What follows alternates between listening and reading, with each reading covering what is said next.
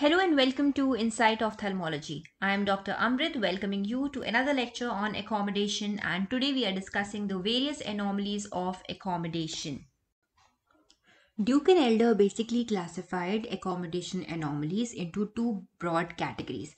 So we have the anomalies arising because of excessive accommodation and we have anomalies arising because of diminished or deficient accommodation. On one side you have excessive accommodation and spasm of accommodation and on the other side we have physiological diminution of accommodation which is seen in presbyopia pharmacological decrease in accommodation which is seen when we take some cycloplegic drugs like atropine or homatropine uh, resulting in cycloplegia or it could be pathologically diminished accommodation.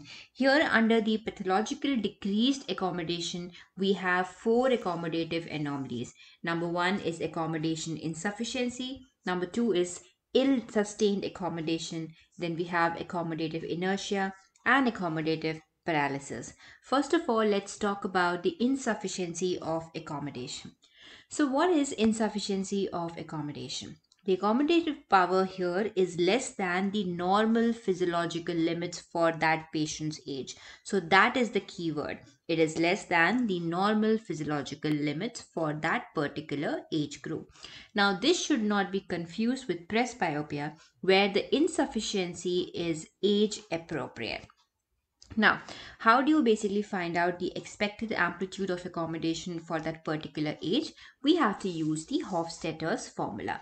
The Hofstetter's formula is 15 minus 0.25 into age of the patient. So, for example, if the patient's age is about 14 years, the expected amplitude would be around 11.5 diopters. And if the patient has, say, for example, 8 diopters of accommodative amplitude left, now this indicates that this patient at the age of 14 years has insufficient accommodation.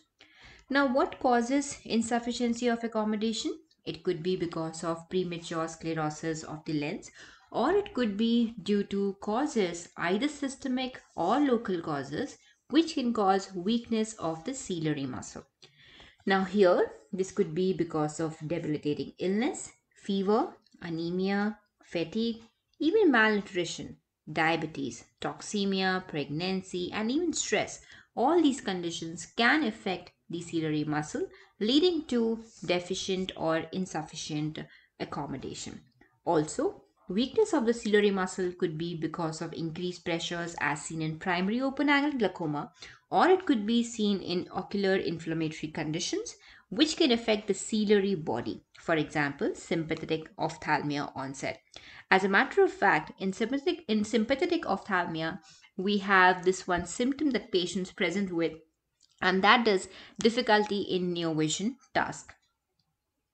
So what are the various clinical features? As expected, the patient is going to have visual symptoms associated with the near work. So they will have difficulty in maintaining clear focus and really going to struggle with reading or close-up tasks.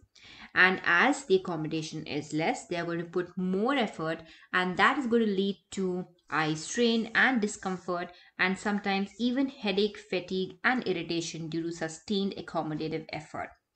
Now, accommodation and convergence issues go hand in hand because we know that it's actually a synergistic process. With accommodation, we have convergence and that also stimulates, uh, that also constricts the pupil leading to miosis. So here also you might have convergence issues and such patients are going to have intermittent diplopia while carrying out near work task. Okay, Apart from that, there might be associated symptoms like heaviness of the eyelid. Now, this is basically the eye fatigue only. And also, let's talk about the stability and progression of these symptoms. Now, if the patient has this accommodative insufficiency due to lenticular sclerosis or cataract, then the symptoms are going to be pretty much stable. However, if it is because of the ciliary muscle weakness, like in systemic causes, say a fever or any illness, then the symptoms are going to be variable and this is going to depend upon the uh, status of the ciliary muscle. Now, what about the, uh, the test results? So, when we carry out various accommodative tests in these patients, so we talk about this uh, accommodative test in our previous videos, so you can visit those videos. So, here in accommodative insufficiency, you will find that the amplitude of accommodation would be low. Also, the near point of accommodation would be receded in monocular or binocular accommodative facility test, you will find that the patient has difficulty in clearing the minus lenses. Why is that so? Because minus lenses stimulate accommodation and they have some sort of problem with accommodation and therefore they have difficulty in clearing the minus lenses. When we talk about the negative relative amplitude of accommodation, here it appears high and the patient is going to actually accept high plus lenses. Now, why does that happen? Now, the NRA or the negative relative uh, amplitude of accommodation basically represents the limit of relaxing accommodation before the patient experiences blur. And here we will sequentially introduce plus lenses or the plus powers. Now in accommodation insufficiency, since a patient already is under accommodating, they can accept more plus powers before noticing a blur making it seem like they have an excessive high, excessively high NRA. It's more of a relative excess rather than a true overactive response. However, when we talk about the positive relative amplitude of accommodation, now this is basically about how much uh, minus lenses you can add before the patient experiences a blur. So this test how much you can stimulate the accommodation in this patient. So since these patients have difficulty in stimulating accommodation and low amplitude of accommodation, even the positive relative amplitude of accommodation is going to be low in these cases. So that is something important. They will have difficulty in clearing the minus lenses and the PRA values will be less than minus 1.75 diopters. Now what about monocular estimation method? In monocular estimation methods, again, since the accommodation is affected or since the accommodation is less in these patients, you are going to see that they will uh, have this with motion or with movement and this indicates lag of accommodation. So this diagram basically over here uh, uh, is the summary of all the test results that you're going to see in accommodative insufficiency. So low amplitude of accommodation, difficulty in clearing the minus lenses in accommodative facility test, lag of accommodation with motion seen in MEM retinoscopy. PRA will be reduced, NRA appears excessive. Very important. Alright. Now that we have understood what causes accommodation insufficiency and how do we interpret, interpret the various results, let's talk about the treatment of accommodation insufficiency. Now, since it's associated with so many underlying conditions, the primary treatment would be addressing the systemic cause of ciliary muscle weakness. Also, we need to do appropriate refractive correction. These patients are going to have symptoms with near task and therefore you can prescribe near vision spectacles in the form of plus lenses to aid in the near work. The funda here is that you have to use the weakest convex lens that provides significant improvement. So you are just prescribing these plus lenses to basically help the patients with their symptoms. We don't want the patients to become dependent on these plus lenses. We also want to them to improve their accommodation and that happens basically with accommodative exercises. So these accommodative exercises are going to aid recovery once the underlying debility is resolved. So the main treatment here is addressing the systemic cause and then prescribing the refractive correction, near vision aids and accommodative exercises. There is a link between myopia and accommodation insufficiency. In myopia, usually, the power of the eye is increased, either in the form of corneal myopia or lenticular myopia. Now, since the power of the eye is more, the patient has less and less need to accommodate. And this results in development of accommodative insufficiency. And therefore, when we are treating myopia, you have to make sure that you give them full correction in the form of minus glasses. Any sort of undercorrection is going to worsen the accommodative fatigue by forcing more effort at near. Apart from that, you can also consider giving them plus addition glasses for near. And these plus lenses basically is a temporary way to relieve the symptoms. With time, you're going to slowly bring the plus lenses down to normal. So that is one important point that we must remember.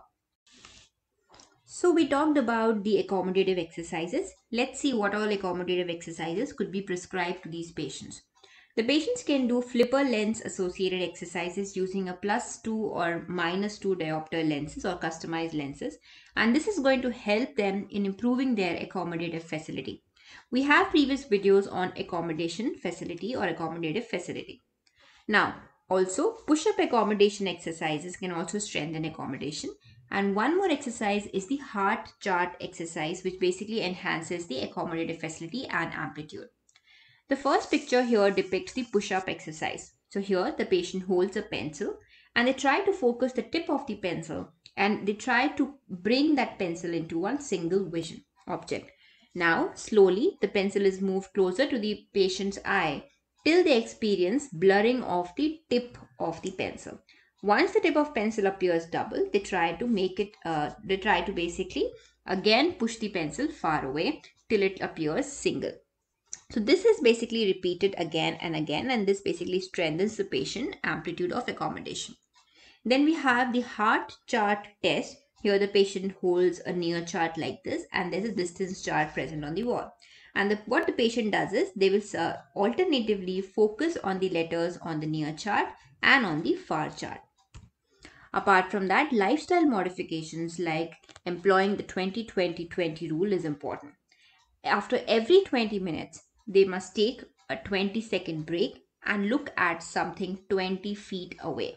Also, ensuring that there is proper lighting and ergonomic positioning and also it's important to reduce prolonged near work tasks without any breaks. Alright, so we talked about the accommodation insufficiency. Now let's talk about ill-sustained accommodation. So what is ill-sustained accommodation? Here, important is that the amplitude of accommodation is normal, but it will fatigue quickly with repeated accommodative effort. So these patients are going to have blurred near vision after prolonged work. They are going to have asthenopia, they are going to have difficulty with minus lenses, and they're going to have reduced accommodative facility. And therefore, the diagnostic test will also be accommodative facility test in which these patients are going to experience fatigue with repeated cycles of near far focusing and they will have problem with the PRA specifically they will have decreased PRA wherein they're going to have problems with the minus lenses because minus lenses will stimulate accommodation and they cannot hold accommodation for long. So I would advise you again to visit our video on accommodative facility test if you do not understand the same. So how do you manage these? Here basically plus lenses again for near work. This is only to alleviate the patient's symptoms. Accommodative facility exercises like the lens rock, Hart chart and the near far jumps. Now I explained to you what is meant by Hart chart. Lens rock test, uh, lens rock exercises are also pretty similar. Here you're basically using flipper lenses, for example, plus 2 or minus 2 flipper. Uh, or you can also use a separate plus or minus lenses. You give the patient a near chart at 40 centimeters and the patient alternatively tries to focus on the letters on the chart using the plus lens on the flipper first and then the minus lens. And they keep on repeating the process for about 1 to 2 minutes at a steady pace. The goal over here is to increase the speed and the accuracy in shifting the focus between the lenses. And of course you have to do the uh, visual hygiene give the patient visual hygiene tips tips that is the frequent breaks and proper lighting condition. The whole idea here is to improve accommodative facility. Now you might think what exactly is the difference between insufficiency and ill sustained accommodation. The primary issue in accommodative insufficiency is low amplitude of accommodation right from the uh, start of near focus Whereas in ill-sustained accommodation, the primary issue is not accommodative amplitude. They have normal accommodative amplitude initially, but this is going to fatigue over time with sustained near task. All right. The third one is the accommodative inertia, and this is also known as accommodative infacility.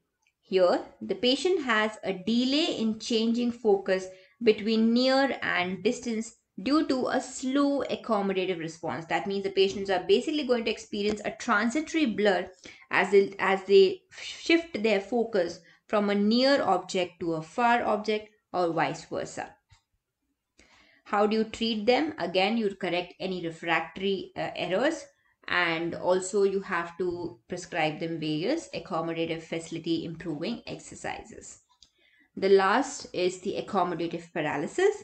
Accommodative paralysis is a condition where the eye loses its ability totally to accommodate due to neurological, pharmacological, or pathological causes, leading to difficulty in near vision. So, we all remember the accommodative pathway. So, what happens is the image is going to be formed on the retina, goes to the optic nerve, optic chiasm, optic tract, lateral geniculate body, finally to the visual cortex and visual association area. From here, it reaches the superior colliculus and pretectal nucleus, goes to the Edinger-Westphal nucleus. From there, it goes to the third nerve. The parasympathetic fibers are going to travel to the ciliary ganglion, synapse in the ciliary ganglion, and the postganglionic fibers are going to reach through the short ciliary nerves to the ciliary muscle, leading to accommodation. So anywhere in the pathway, there can be uh, some damage and that can cause paralysis of accommodation. So let's see some of the common causes. We could have congenital defect in which we could have absence or maldevelopment of the ciliary muscle. Cycloplegic drugs, systemic drugs, these can affect the uh, pupil and these can also affect the ciliary muscle. Degenerative conditions like Parkinson disease uh, also can affect the parasympathetic control of accommodation. Poisons, cranial nerve 3 lesions, Ocular diseases like anterior uveitis and glaucoma, they can also impact the ciliary muscle function. Internal ophthalmoplegia can also affect the accommodation. So in the end, let's see how do we treat accommodative paralysis. Now, if it is because of any drug, drug-induced paralysis like for example with, with atropine or homatropine and even paralysis secondary to diphtheria often recovers spontaneously over time. However, you can give patients symptomatic relief using dark glasses. Uh, these could be required temporarily to reduce glare and photophobia associated with accommodative paralysis. Also, optical correction can be given in the form of convex lenses, that is plus lenses, uh, basically prescribed to assist in near vision. So, we know that during near vision, we are using accommodation and uh, accommodation increases the power of the eye. This I explained to you in my video on what is accommodation. So since they have lack of accommodation, it is logical that we prescribe them convex, lens, convex lenses. It's pretty similar to what you do in presbyopia. So in presbyopia also they have lack of accommodation or deficient accommodation and therefore we supplement that accommodation using the plus lenses. Now, if your patient also needs glasses for distance, you can give them the plus lenses in the form of bifocals or progressive lenses as well. So those were four accommodative anomalies arising out of decreased accommodation. If you like this video, you might also like this video on accommodation. Thank you for watching. Have a nice day.